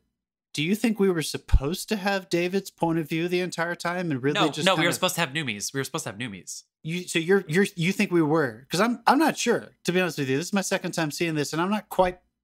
She I- is I don't literally the first point of view we have. Yeah. First shot is her banging in that cave, or the, after the little uh, beginning prologue. First shot is her, so I know what you mean. It seems like we're supposed to be following her, and she is clearly in our view most of the movie. I mean, but David is the only one that we actually get to see thinking. She acts. David thinks. So I'm not quite sure. What do yeah, you think? I mean, Dave? in, in 2001, you see the apes, and they're not the protagonists of the film. True. True. good point. Wait, but like, so it- talk to me it's about. a lead. It's a device to get them to the point. I think this whole Do you think there were two about him. protagonists? I mean, Do you think they there are two because they, might- end up going together yeah, at the end? it's possible. But I think this this whole movie was more about he focused more on the android's journey than the alien because I know he's specifically said in, in interviews he wanted to get away from the aliens and nobody responded to that. That's why they're back in the the second one. All right, then this is why then this is why it didn't completely succeed for me. If if that was what he was trying to do, because he didn't give I, I know this might sound obvious, but because he didn't give the android any kind of ultimate conflict other than getting his head ripped off. Then, then it kind of stopped for me when that happened. I was kind of like, "What the fuck are we going to do now? Now that David, now that they're conduit between the aliens and them, he just got ripped in half." And then he just comes back kind of magically. He just starts talking to her again. What is his Three energy sequences source? later. What is his energy yeah, like how the fuck is he Who's communicating to her? powering him? Is his power center actually in his head and not his body? Did he need his body yeah, because when they did the same thing to Bishop, she had to wire him up. Like she had to power him But for see, to do that. I know, but see, but see, that would have bothered me less had he been communicating the entire time. Is the fact that we left him and we went with just her. Mm. I thought he was. beg- I thought that was the moment where he was going to start to meld the two protagonists, and yet we left him and we went just with her, and then he just comes back very safely and comfortably at the very end. Look out, he's coming to get you. Right when the alien was coming to attack her, it was a little too perfect, and it gave me that same feeling. Like, all right, I'm watching a movie. Because if he had been speaking to her the entire time, and he was actually I know this is a trope with sci-fi, but when it's pulled off, it's pulled off well. If he had been speaking to her the entire time because he was actually afraid he was going to die or that he wasn't going to get out of that that ship that he was buried in, there would have been some kind of thing that would have brought them together instead of just function. They got Hmm. together because of function, which didn't Yeah. do it for me. I don't know. Yeah, you- I mean, Sorry, I, going back to what, What Jeff said, there are there are only two types of people in the world, and he's Get the right. fuck outta here. The- there are two types of people in the world. There are people that just run in a straight line, and people that turn right and run out from in front of the fucking thing that's about to fall on them. True. Is that a Game of Thrones throwback to the Battle of the Bastards? No, can't I mean, remember. but No, honestly, it's, it's- it's, Zigzag, it's one of the, Tom, and it's one of the, yeah, it's Dave, one of when the, you it's one of the biggest like that- controversies in this film. Yeah, Dave, Yeah. when you see shit like that, are you like, because I mean, again, the visual effects are astounding. Yeah. Like everything that's happening in that Yeah. sequence is just like, motherfucker, this guy is a pro. And yet he puts something in, I mean, but then he they- puts a they- sequence in there like that where you're like, give they me a do justify break, it dude. Are in, you in kidding me? explaining like they justified it later in discussions by explaining that like some people in in those situations do just blindly panic and run in a straight direction they don't have the plan making skills when they're panicked but if you have to go back and explain something after your movie after it's been ridiculed you you've failed Yeah. And doesn't she? And does it? Didn't they literally have her say the line? This is Charlize Theron's character. We're talking about people. Uh, Vickers. Vickers. Yeah. She literally says the line early on. Um, I take every precaution for safety. Or she's like, because she has, she lives in like a lifeboat. yeah So there, there, it was like a contradiction that I didn't think quite. I don't know. I think there are too many mo- too many moments in that in this movie where you feel people are contradicting themselves for the sake of visual spectacle that that keeps it from being a great movie, but it's Mhm. still fun. And if you like the Alien world and the Alien franchise, I don't. I agree with you, Dave. I think he ended up making more of a dramatic kind of take on the human saga of trying to figure out where we came from. But it's Yeah. still worth watching. I It's think so, unbelievably gorgeous, yeah and I still feel like the acting is fantastic. There's a still worth really watching. brutal med pod scene in the middle of it but my, i think my Yeah. biggest takeaway from this is if you're on my exploration team you're watching this as the safety video Yeah. do not oh take Oh your helmet gosh. off and don't poke the fucking alien snakes That's that's right. yeah Don't take your fucking I think that's helmet off, dude. Yes, yes. They weren't worried about pathogens at all. Like I don't Yeah. know. I don't know. I don't Um, know, you guys. Yeah, eh, this guy's a scientist that literally traveled across the solar system over three years and in 30 seconds went, What are the oxygen levels? This helmet's coming off. I can't even take my helmet off now during COVID and the air is fine outside. He's a helmet Get the- denier. He's a helmet denier. Anyway, all right. Any Jeff, final you're thoughts? totally right, dude. Any Uh, final thoughts? I mean, uh, Uh, one piece of wisdom when the android starts quoting philosophy, everybody the fuck out of the pool. Yeah. And if you're a scientist, you're a scientist, every decision he makes is with his dick. He's a terrible scientist and he didn't go to school for science because he's not a scientist. Come on with that. He's like, oh, what are the oxygen levels? Mask off. What about un what how do you you're in a foreign space station? What if they can't even detect it doesn't matter. Okay. Anyway. Yeah, no, no, no, not the- the Ridwell. reason- You're right. Yeah, Yeah, What, right, what you're I would take away from our podcast is the th- the things that tear us apart the most are movies that are so close. Because just bad movies we don't care about, and and good movies are easy. So it's like the reason we're saying all this stuff is because like it's anyway. We we, we I I don't have the answers. You don't. I do the have one final one final criticism. How did they not show us Idris Elba and Charlie Theron having sex? That's, mm. that would have been like, come on, are you kidding me? That would have been incredible. We didn't get to see any of This, that. it's not Family Guy. It's not like oh, we need some boobs, and it's like there are boobs. Oh yeah, oh yeah, we got a movie. We got a movie. Yeah, no. it's not the age of innocence. It's not the age of innocence. All right. Anyway, also 1993, which is our segue into the next week's podcast here. So again, in two weeks, I messed up on my time frame here, but on Halloween night, which is a Saturday, just what's it? October 31st. October 31st. How strong are your beers? we're gonna talk. We're gonna do a live stream. We're gonna have a special It's, it's guests. Isn't this Sunday? Hold Anyway, next podcast we'll, we'll give you more about it. Follow us on Facebook if you want to know more. But we're gonna do a live Halloween episode. No, Halloween is a Saturday, so it's John. You, I hope you You're have this you're marked right, in your you're right, you're calendar because you're, You're you right. you said you'd be there. it's the early voting. I'm, I'm just throwing off. I'm helping so much. You know. I just right. can't- Well, it's what the polls will be closed by the time we do this podcast. Anyway, um, next week, 1993, we are not doing the Age of Innocence, which we just teased, but we are doing three fantastic films. First film we're doing is The Fugitive, which you have to rent. It is not available for streaming services. Then, Dave, what are we doing next? We're doing the Nightmare Before Christmas. Fuck yeah, which is on Disney Jeez, Plus. Forget. Disney you Plus. forget the other. It's on Disney Plus. And then the third film we're doing, our redemption film, or was it really that bad? We are doing The Last Action Hero with Arnold Schwarzenegger. Ugh. Come on, baby. We are doing The Last Action Hero, which is available on Starz. Starz. Fuck yeah, nailed it. All right, people. This has been a fantastic episode. Thank you so much for joining us. Any final thoughts, guys? John, not you. Dave? Well, we've said enough. Yeah, okay. Thank you so much. We will see you next week.